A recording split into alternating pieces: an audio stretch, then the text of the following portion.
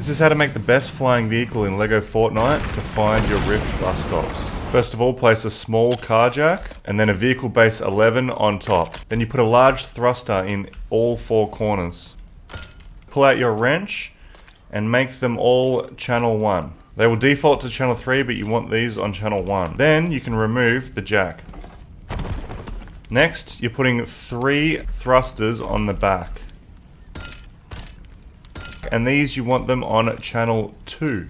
Lastly, it's your turning ones. You're putting a small thruster on the back right corner and the front left corner. Just double check that these are on channel 3. Now you're adding your grand chest. Now once you've got the four grand chests on there, you want to put a small driver seat right in the middle. And lastly, your balloons on each side. As you can see, we're floating up immediately, so it's not heavy enough. You can drive it like this. I like to put granite on the back to add weight. Now you can see we're slowly drifting back down. It's unbalanced, so I want to add some more to the sides.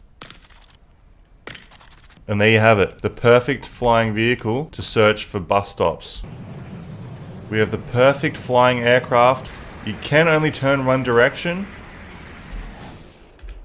but you just face the right way and away you go. Look how fast we're going. I can search the whole map to search for the rest of the rift stops.